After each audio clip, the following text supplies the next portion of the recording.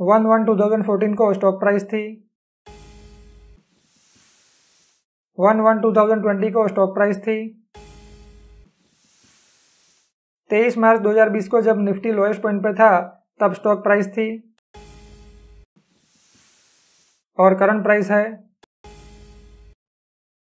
One one two thousand fourteen को stock price थी।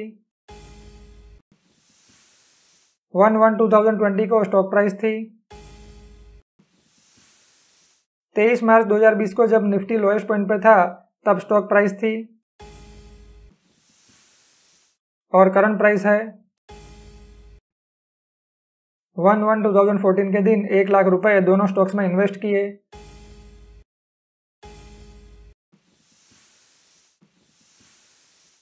छह साल बाद इस इन्वेस्टमेंट की वैल्यू हो गई।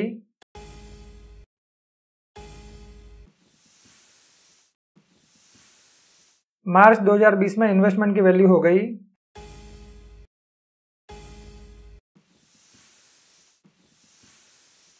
और करंट वैल्यू है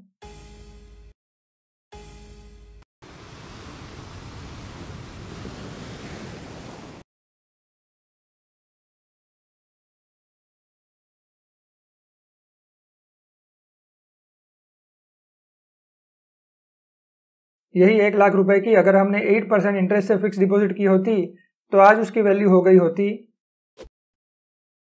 एफडी के एट परसेंट के मुकाबले निफ्टी ने कितने परसेंटेज का रिटर्न दिया? दोनों स्टॉक्स ने कितने परसेंटेज का रिटर्न दिया?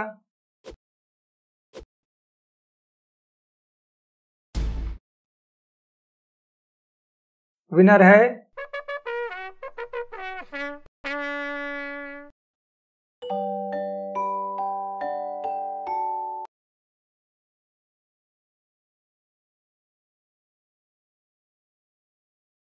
आज अगर किसी को एक लाख रुपए इन्वेस्ट करने हैं तो वो क्या करे? दोनों में से किसी स्टॉक में इन्वेस्ट करे, निफ्टी फिफ्टी स्टॉक्स में इन्वेस्ट करे, या एफडी में करे?